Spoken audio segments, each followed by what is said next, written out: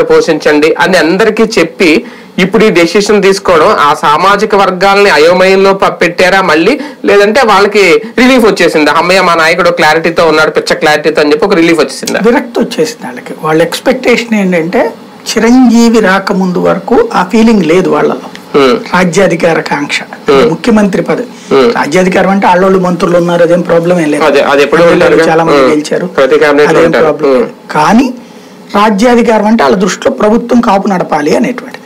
అది. చిరంజీవి విషయంలో ఎక్స్పెక్ట్ చేశారు. Hmm. కానీ ఓన్లీ సింగిల్ క్యాస్ట్ బేస్డ్ మీద అయ్యేటప్పటికి Hmm. చిరంజీవికి వర్కౌట్ కాదు తను ఉండుంటే తనే సీఎం అయి ఉండేవాడు కాపు సీఎం అనేది నడిచి ఉండేది ఉమ్, తను ఈ లోపు పార్టీని విలీనం చేసేసాడు రాష్ట్ర విభజన జరగకపోయి ఉండుంటే కూడా Hmm. చిరంజీవి నెక్స్ట్ సీఎం క్యాండిడేట్గా పెట్టి ఉండేది కాంగ్రెస్లో కానీ అక్కడ మిస్ అయింది. Hmm. మిస్ ఫైర్ అయింది. సరే అప్పుడు పవన్ కళ్యాణ్ రంగంలోకి వచ్చాడు.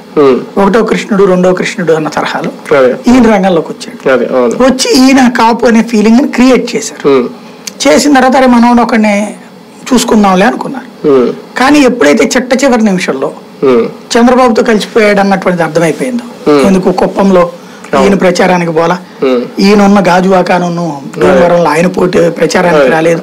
మంగళగిరి ఈయన వదిలేశాడు.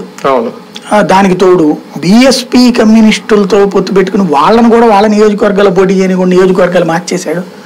అదే ఇంటర్నల్ అండర్స్టాండింగ్ అది తెలుగుదేశం ఇంటర్నల్ అండర్స్టాండింగ్ అనేది ఫీలింగ్ వచ్చేసింది జన. తెలిసిపోయింది ఓపెన్గా తెలిసిపోయింది. అందుకని వాళ్ళు ఎవరు ఓటేలా Hmm. అందుకని ఆరు శాతం ఓట్లే పడ్డాయి. అదే అవును. తెలుగుదేశానికి వేయాలనుకునేటప్పుడు పవన్ కళ్యాణ్ అనవసరం కదా? వాళ్ళే వేసుకుంటారు కదా డైరెక్ట్ అక్కడ ఆ తెలుగుదేశం మీద ఇంట్రెస్ట్ లేనోడే కదా పవన్ కళ్యాణ్ దగ్గరికి వచ్చేది. జగన్ అంటే ఇంట్రెస్ట్ లేనోడు బాబు అంటే ఇంట్రెస్ట్ లేనోడు ఈయన దగ్గరికి రావాలి. ఇదివరకు వాళ్ళ అన్నయ్యకి పద్దెనిమిది శాతం ఓట్లు అది అక్కడ ఉమ్మడిగా.